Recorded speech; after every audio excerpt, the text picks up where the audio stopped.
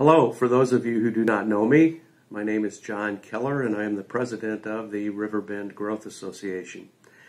Thank you for viewing this and I wanted to take a few minutes of your time to thank everyone for supporting the local businesses.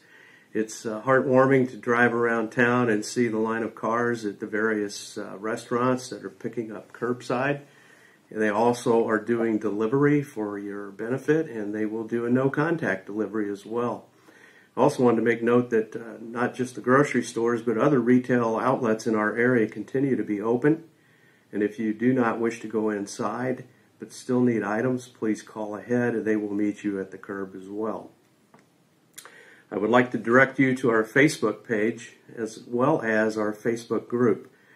Uh, our media coordinator here, Alex St. Peters, has set up a Facebook group which is entitled Riverbend Area Updates you may post to that anything that you wish that's pertinent to the situation currently going on and keep uh, the line of communication open with your customers. We also have a resource page on our web page, which is uh, riverbendgrowthassociation.com and then backslash COVID-19. And that is updated uh, by uh, Debbie Hagan here at the office it is a resource page with local, county, uh, state official proclamations and, and uh, things going on, as well as updates from our two area local hospitals on best practices and things uh, of that nature.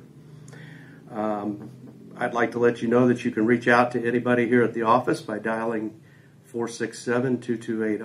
Our phones are uh, being forwarded as well as messages being taken, as well as continue to email us if you wish, because everybody is receiving their emails remotely and working remotely as well. I'd also like to uh, remind everybody to safely shop local. I thank you for listening, and we will all get through this together. Thank you.